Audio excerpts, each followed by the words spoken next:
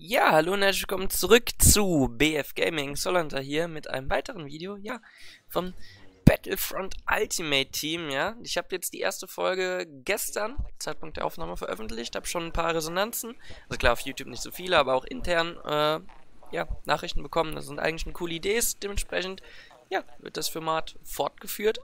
Und im heutigen Video haben wir tatsächlich, ja, den lieben Bene, also Grüße gehen raus, und ähm, ja, ich kann es auch schon mal spoilern. Im nächsten Video wird dann der liebe Elle auf jeden Fall kommen. Das werde ich jetzt mal machen, dass ich dann in dem Video sage, wer als nächstes kommt. Naja, ähm, ich würde sagen, wir fangen direkt an und ich wünsche euch viel Spaß mit dem Video. Genau, vorab, falls euch das Video gefällt und das Format gefällt, dann schreibt gerne eine positive Wertung da. Und falls ihr was an Benes Karte ändern würdet, dann schreibt es mir auch in die Kommentare. Ansonsten blende ich sie euch hier direkt ein, ja, so wie ich es bei mir auch gemacht habe. Und ähm, ja, gehen wir erstmal über die Basics. Ähm, Bene natürlich, wunderschönes Profilbild. Grüße gehen raus an Pike. Dann natürlich das Bayern München Logo, weil er Bayern-Fan ist. Ja, Bayern ist halt so Deutschland, weil Deutsch. Und äh, ja, dann natürlich eine 92, über die ähm, werde ich aber erst ähm, ja, am Ende des Videos nochmal drüber eingehen, wie ich das bei mir auch gemacht habe. Und wir fangen dann direkt an mit den Werten. Falls wer das andere Video von mir nicht gesehen habt, dann verlinke ich es euch oben rechts in der Infokarte. Ansonsten gehe ich nochmal ganz kurz drüber, was die einzelnen Werte bedeuten. LSW ist Lichtschwert, BLA Blaster, MVM Movement, ABI Abilities, HOK Hookswings und PAR Parieren. Und ja, fangen wir direkt an mit dem Erklären der Werte. Und zwar habe ich dem Bene, beziehungsweise wir haben das ja in Absprache so ein bisschen gemacht mit Elle, mit Bene selbst. Und habe ich ihm eine 93 gegeben. Und zwar aus dem Grund eine 93, weil meine Karte auch eine 93 hat. Man muss die Karten ja immer so ein bisschen in Relation setzen. Klar könnte ich Bene jetzt auch bei Lichtschwert eigentlich eine 99 geben, weil er richtig krass ist. Aber man muss das immer in Relation setzen mit den anderen Karten. Und auch hier sage ich es einmal jetzt als Disclaimer. Ähm, das ist nur eine Goldkarte. Da muss man jetzt nicht direkt übertreiben mit äh, überall 90er Werte. Ja. Bene ist natürlich richtig, richtig gut in 1v1s und das spiegelt diese Karte, denke ich, auch richtig gut wider. Die 93 auf Lichtschwert, also Bene, ich kann dich nur loben, dein Lichtschwertkampf, der ist richtig gut. Der ist richtig, richtig gut. Teilweise verbesserungswürdig, vor allem wenn es in Stresssituationen geht aber nichtsdestotrotz wäre es, glaube ich, nicht gerecht gewesen, dir etwas unter der 93 zu geben. 93 ist wirklich richtig, richtig krass gut. Und wir machen dann weiter. Ich denke, da muss ich nichts weiteres erläutern. Wenn ihr Bene nicht kennt, dann schaut mal ins BFG-Pokalfinale, auch auf meinem Kanal. Äh, und dann schaut, äh, schaut euch mal an, hier mein Kampf gegen Bene. Und dann seht ihr ja Bene, wie er kämpft. Das ist schon echt klasse. Genau. Dann Blaster 75. Mm, ich hätte tiefer gehen können ich hätte höher gehen können, so würde ich es mal formulieren. Klar, Bene ist irgendwo auch das Meme von unserem Clan geworden, gerade was so, ähm, ja, Blaster-Helden angeht. Also immer, wenn wir irgendwie einen schlechten Spieler sehen oder sogar einen Bot und sagen, ja, Bene ist wieder da, ja, Bene hat halt, es tut mir leid, ist halt nicht so der, der Beste mit Blastern, ja, aber 75, also er, er ist ja, er ist ja nicht schlecht, so, aber er im Vergleich zu den anderen Clan-Membern, hm, Luft nach oben, ja. 75 ist, denke ich, in Ordnung. Da hat er selbst auch zugestimmt. Also ich weiß nicht, ob du das Video sehen wirst, Bene, wahrscheinlich schon. Ähm, du hast zugestimmt und ich denke, da sind auch alle Beteiligten mit, ähm, ja, in Ordnung. Das ist auch gar nicht böse gemeint, aber klar, da ist noch Luft nach oben. Das sieht man gerade auch in den 4 gegen 4s ähm, ne, von Galaxis-Eroberung, wenn er ähm, ja, Blasterheld spielt, da, merkt man, da ist so eine gewisse Unsicherheit. Also lieber bleib beim Lichtschwerthelden, bringen wir es auf den Punkt und dann, dann passt es. Ansonsten Movement 87. Ähm, ich habe mir, das ist auch wieder in Relation mit meiner Karte, ich habe mir eine 89 gegeben. Ich finde mein Movement ein bisschen besser als das von Bene. Ähm, Gerade so, was so dieses Dashen angeht ähm, und auch so diese, ähm, ja, Selbstverständlichkeit im Movement. Und vor allem ist beim Movement ja eben auch das Movement von Blasterhelden mit integriert und deswegen Bene ist eine 87, denke ich, in Ordnung. Äh, Nochmal als Vergleich, ich hatte eine 89 mir gegeben.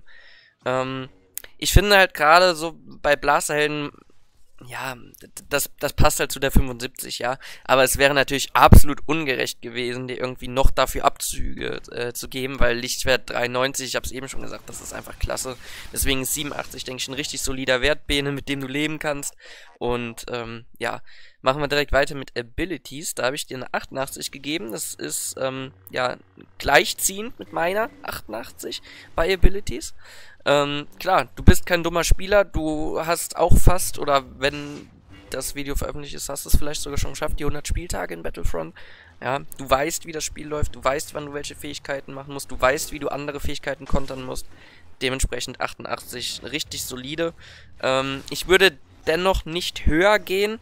Ähm, bei mir war es allerdings eine andere Begründung. Bei dir würde ich die Begründung auch nehmen, im Vergleich so mit dem Blasterhelden, dass du da halt zum Beispiel ein Detonit im falschen Moment zündest oder im falschen Moment wirfst sogar, ja. Deswegen würde ich nicht höher gehen, aber niedriger auf keinen Fall, weil in 1v1 deine Fähigkeiten, du, du setzt die richtig ein. Also muss man ja nicht drüber reden. Ja, dann Hookswings. Ähm, habe ich dir eine 89 gegeben, das war mein schwächstes, da hatte ich eine 81, also bist du deutlich vorne. Ähm, ja, Hookswings kannst du besser als ich, das ist so, aber du trainierst sie, glaube ich, auch äh, häufiger als ich. Und was bei dir ähm, beachtlich ist, du triffst nicht nur oft häufig Hookswings, sondern du weißt auch, wie du keine kassierst. Also du weißt, wann du dashen musst, wann du ausweichen musst. Hookswings gelingen dir einfach gut.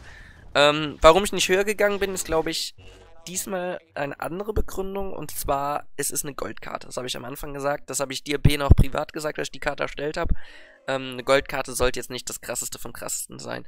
Wenn du aber mal eine Momente-Karte kriegst, zum Beispiel aus dem BFG-Pokal, ja, eine Momente-BFG-Pokalkarte, dann kann man da bestimmt noch hochgehen. Ja.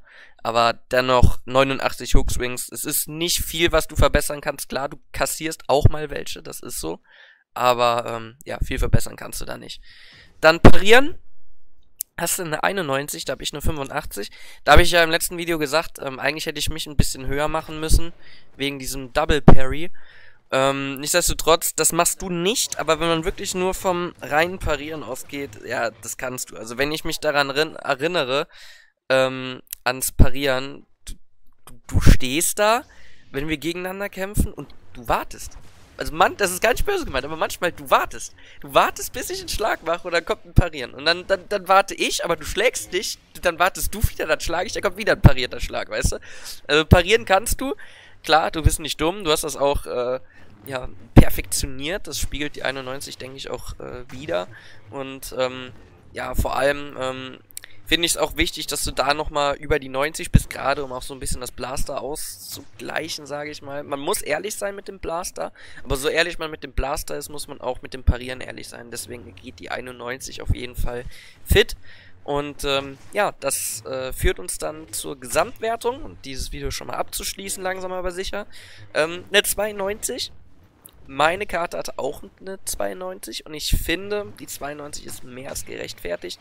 Deine Stärken ganz klar liegen bei Lichtschwert, liegen bei Parry, liegen bei Hookswings. Das sind genau die ähm, Werte, die ja dieses 1v1 ähm, ausmachen. Ja, Blaster, Movement und Abilities, das zählt eher so in die Blaster-Kategorie, aber wirklich Lichtpad, Hookswings, Parieren, das sind die Werte, die dich ansprechen und die sind hoch und dementsprechend geht die 92 definitiv in Ordnung, auch wenn deine Karte bei Blaster eine Schwäche hat, so hatte meine die Schwäche bei Hookswings. Es ist so. Es ist, wie es ist.